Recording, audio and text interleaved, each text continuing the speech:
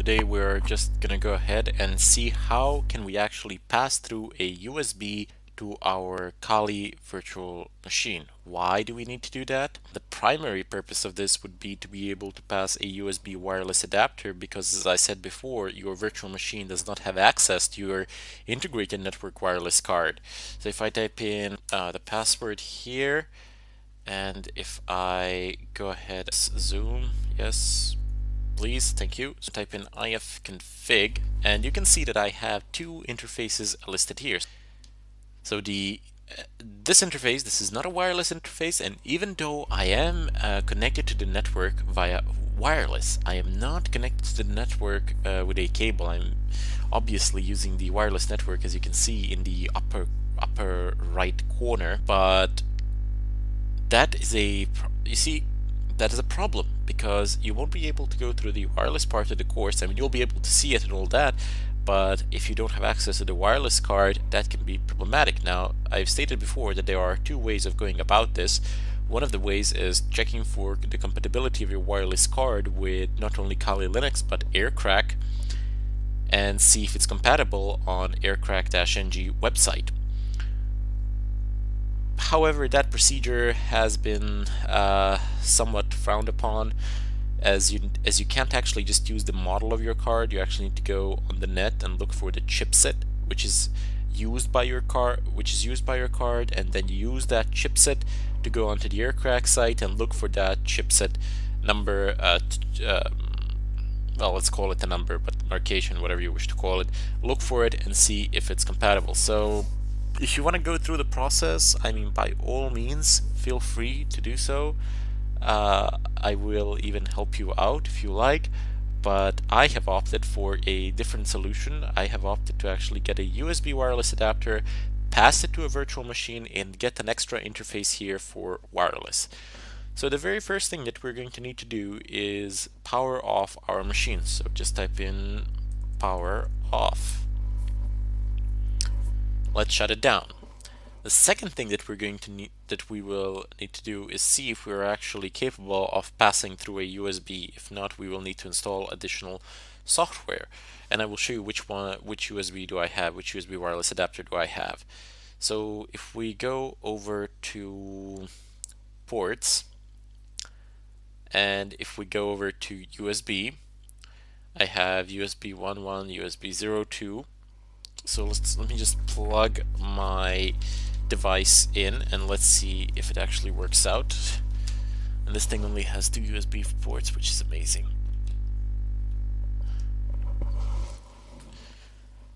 If I say USB 2.0 invalid setting detected huh why USB page. USB 2030 is currently enabled for this virtual machine. However, this requires extension pack. Okay, so we need an extension pack in order to be able to do this. I'm just gonna unplug my device. I will show you later on which device am I using as a USB adapter. But we're just gonna go ahead and say okay here. And now we will open up our browser I'm using the default one Safari even though I generally use Firefox but I'm guessing that uh, but I'm assuming that this is stock so we're just gonna use whatever we can uh, from the system itself. Uh, let's go ahead and search for Oracle Virtual Box.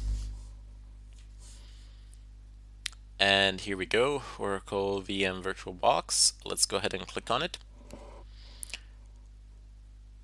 uh, sure, we can get it from here, but I was hoping to go straight to Oracle. Actually, wait, let's just see if we can get it from here so I don't have to bother on their site. Uh, wait, downloads extension pack. There we go. So I do have it here. I actually didn't notice it here. I, Usually I just went to over to the Oracle site and then navigated my way through there to find the page that was dedicated for VirtualBox. But okay, no big deal. Uh, if you're using 430, please download the extension pack here. But we're using 504. Oh, by the way, before we actually download them, you can check the version of your VirtualBox in the help menu. Uh, so just type press on context, should be there. Uh, no, uh, it is, actually it is. So it's version 504. There you go. It's There are some slight interface variations between VirtualBox for Windows, Mac, and Linux, but nothing too drastic really, so no worries. Okay, so let's go back to Safari, and it says VirtualBox 504 Oracle VM VirtualBox extension pack all supported platforms. So let's just go ahead and click on this link the download is in progress. This should take a lot less time as these things are not very big. It's just 16 megabytes. Let's open it up. You're gonna run. Please. Yes, no, maybe. No, okay. So downloads. Uh, where are they? Extension pack. Here we go. You're about to install VirtualBox extension pack. Extension packs complement the functionality of VirtualBox. I'm just reading this because it's probably too tiny for you to see. Maybe it's not. I can see it quite clearly from some distance away. The functionality of VirtualBox and can contain system-level software that could be potentially harmful to your system. Please review the description below and only proceed if you have obtained the extension pack from a trusted source. Okay, so uh, I sincerely hope that we have obtained it from a trusted source. This is signed. Safari is using an encrypted connection, encryption with digital certificate. Uh, show me the certificate. VeriSign, class 3. Okay, so this should be fine as far as I can see. Uh, the HTTPS seems to check out as far as I can see anyway, but there are never any 100% guarantees. There's always that 0 0.0 something chance that something will go wrong. So uh, one more thing. If you are running anything else, any other programs that are like VirtualBox, so if you have VM, VM, uh, VMware or if you have Parallels or something like that, you might not want to install VirtualBox alongside with them because it's generally not a good idea to run two uh, two instances of these virtualization softwares of these uh, it's not it's just not a good idea not only on Mac but on any other system on Linux on Windows as well so if you have one either remove it or use it do not install another one next to it I mean you can and you have a chance that everything will work out but you know, just to keep it on the safe side. Anyway, I'm going to go ahead and click on install. There is a license agreement here to accept from Oracle. Agree. Now it's going to prompt us for a password, so let's just type that in. And now it is installing extension pack. And there we go. It has successfully managed to install it without any difficulties. Now what we need to do is simply go ahead and enter settings, go into ports, these are serial ports, never mind that, you go into the USB and now now you see you can select uh, 203011 whatever you wish. Uh, we're gonna go ahead and select 20 and let's just see if this works. Okay, I can indeed see some of the things here. Uh, definitely Logitech USB headset, the one that I'm using to record this, so I can I can I have access to that. I'm gonna go ahead and say okay for now and not add anything. I'm just gonna go over to the net to show you a picture and a model number of the wireless network adapter that I have next to me.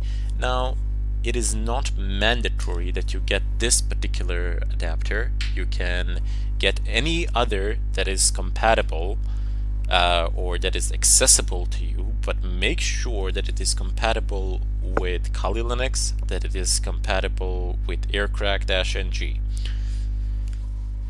So I'm gonna go ahead and see the model number. It's a bit of a lengthy one, so it's AW uh, US 0, US 0,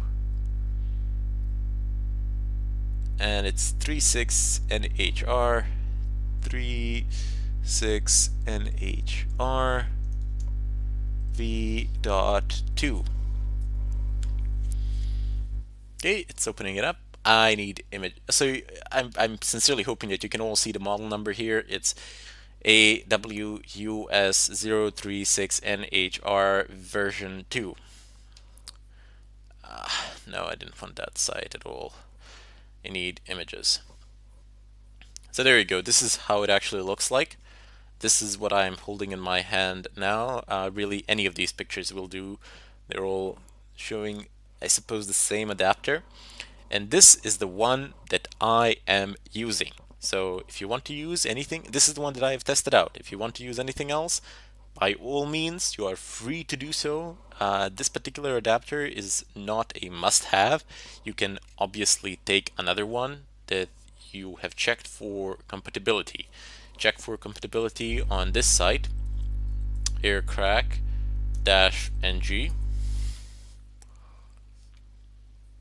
And let's go ahead, select compatibility.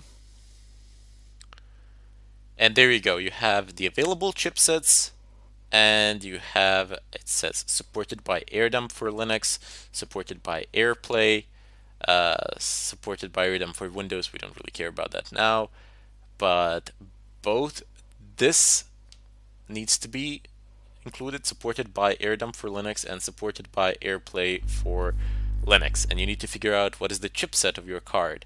How do you figure out the chipset of your card? uh, write the write the model number and then just write the question in your favorite search engine and say what is the chipset of the model number press enter and you'll be able to figure it out not a hard thing to do at all then take the model number then take the chipset number and go here sorry not the chipset number the chipset designation and then come here and try to figure out try to find it. Even if it's not listed here, it has a chance of working out. But, you know, it can be a little bit dodgy. You know, some features might work, some others might not, or it might not work at all. Then again, you can just go onto the net and look for the compatible adapters. If you know, if you can't get this one, this one is like, I think I got this one for 20 bucks or something like that. It's a fairly good one uh, from eBay. But you know, if you can find something cheaper that works, uh, feel free but I have not tested anything else out. So I've just tested out this adapter. And I've also tested out the wireless card in my primary machine and some other things as well in terms of wireless. But as far as the wireless USB adapters are concerned, this is the one that I have tested out. Anything else, I can't make vouchers that it will work, but I mean, just make the checks for yourself and see if both, if this part says yes, and if this colon as well says yes, then it should work. No big deal. So just go go with whatever option you feel the most comfortable with, and uh, keep in mind the cost. So try to be cost effective as well. Anyway, let's go ahead and plug it in. So just take the USB cable. All that I'm doing is taking a USB cable, I'm plugging it into the adapter, that I got with the adapter and then I'm gonna spin it around and then I'm gonna plug the USB adapter into the machine. This is the well the second time in five minutes that I'm plugging it in but I didn't really do anything I just tried plugging it in. So I'm just gonna plug it in to the machine and I hope that it's not dead. That would be very nice if it's alive at least because I don't see a blue flashing light at all. So let's try, I'm just going to go ahead and try plugging it into my laptop to see if it's actually alive. Because I haven't used it for a while. Okay, so it is functional, definitely I see a blue lamp. That part is obvious anyway. Uh, let's go ahead and plug it in and see what happens. Nothing, but oh well. Let's see if we can manage to pass it through anyway. So I have the device plugged in all that I did now is plug the device in. I did not install any drivers prior to this. I did not do anything other than just plug the device into the into my Mac. That is all via the USB port with a cable that came with the device. That is all. Nothing else. And this is the first time that I'm pretty much doing this. So uh, let's go ahead and right click here, settings, go into ports, USB, it's 20 EHCI controller, click on the plus sign and 11N USB. So let's select that and click on OK. Now let's power the Kali machine up and see what happens. Okay, excellent. So my USB is now blue. The, the blue lamp is on. Notice that I did not install anything on Mac. I did not install any drivers. The Mac did not recognize this device. The Mac doesn't have a clue what this device is. It's just passing it through, just knows that it's a USB and it's passing it through a virtual box to this virtual machine. That is all. I actually couldn't use this device on a Mac until I installed the drivers for it, but I'm not going to do that because I'm never going to use it in a Mac. What would I use it in a Mac for? Anyway, so Control Shift plus plus plus to magnify, and if I type in ifconfig, press enter, voila, you have VLAN, WLAN 0. I am not connected to any networks, but I mean, it's right there. I can use it, obviously. So if I press this in, if I press this, uh, not connected, well, okay, obviously select the network. Do I seriously? Okay, there we go. So I have a ton load of networks around me that I can use to connect. And let me just go ahead and cancel this. Uh, go into network. I'm going to go into network settings. I'm to go into network and I'm to and I'm to say it's you see where it says bridge adapter? I'm to say not attached. So it's not attached to any of the integrated adapters in the machine doesn't care, doesn't matter. This is to bring the internet connection down completely in terms of wired connection. I'm doing this so we can rely, so that I can demonstrate that this wireless adapter actually works. And I'm to try to ping google.com now. This is not going to work out as you might imagine. And I'm just going to control C to quit. Now, what I shall do is just go into the network manager here, go into Wi-Fi, select a network, select this network, click on connect, type in the password, let it connect, and I'm gonna leave it to attempt a ping to see when it actually connects. Are you serious? Did I do I have I forgotten the password?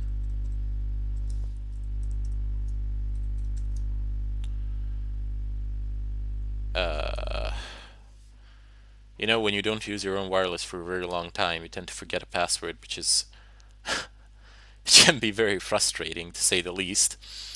Okay, okay, okay.